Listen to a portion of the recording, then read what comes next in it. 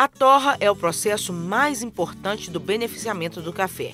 Mas antes de iniciá-la, é preciso atentar à higiene do local e fazer uma etapa anterior, a peneiragem.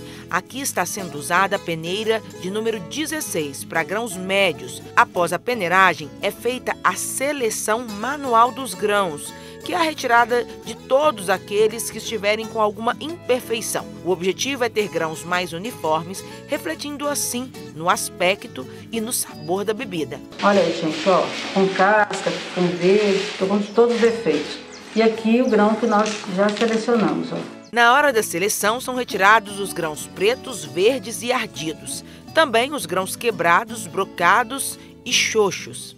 Os três piores defeitos do café é o preto, verde e ardido. Então o preto, ele é um grão de coloração preta, opaca, é o pior defeito encontrado no lote de café. É um grão que é empodrecimento, então não é um grão apropriado para nós deixarmos no nosso café. O grão ardido é o grão que pode ser resultado de alguma fermentação de micro-organismos, que pode ocorrer na lavoura, na secagem, no terreiro, que é o segundo pior defeito de um lote. E os grãos verdes é o grão que é colhido verde.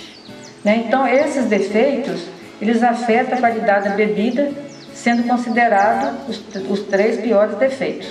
Mas nós temos ainda outros defeitos. Os grãos quebrados, gente, é o grão que acontece às vezes assim, que seca muito, né? E quando vai no, da lavoura, ou mesmo quando às vezes uma máquina com funcionamento inadequado acaba quebrando os grãos. O brocado, é, nós encontramos muito pouco aqui na, no nosso café, né, Elisângela? Uhum.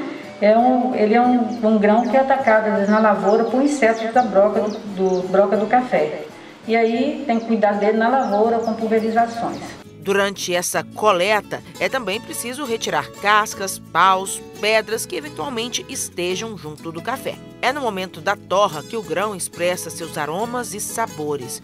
O processo é composto por três etapas: a secagem, a torrefação e o resfriamento. Na secagem ocorre a liberação de água e compostos voláteis do grão.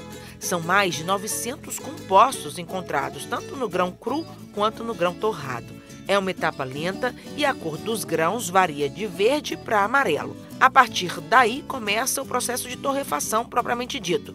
Nesta etapa tem a liberação de grande quantidade de gás carbônico e também ainda a liberação de água e compostos voláteis. À medida que os grãos vão escurecendo pela caramelização dos açúcares, vai aumentando a quantidade de fumaça no torrador e o aroma vai ficando mais acentuado. A torra deve ser feita em fogo alto por aproximadamente 20 minutos. Temos que ficar atentos para que não passe do ponto de torra desejado. Se houver dúvida quanto ao ponto, abra o torrador bem rápido e verifique. Se ainda não estiver no ponto, volte ao fogo por mais alguns minutos ou segundos. Após a torrefação, o café vai imediatamente para a peneira, para resfriação e evitar, portanto, a carbonização dos grãos. É um processo sucessivo e rápido que tem o objetivo de condensar no interior dos grãos as substâncias aromáticas responsáveis por aquele cheirinho gostoso do café e também pelo seu sabor. Vocês estão observando que eu estou aqui mexendo rapidamente e vou fazer isso por 5 minutos para que o café resfrie bem. É possível se ter três tipos de torra: a clara, a média e a escura. A torra clara, ela preserva mais os óleos aromáticos e acentua mais a acidez da bebida. A torra é, média, ela preserva também os óleos aromáticos, mas acentua o sabor e o aroma. E a torra é, escura, ela, ela fica um aspecto oleoso, vocês podem ver que ela está brilhando.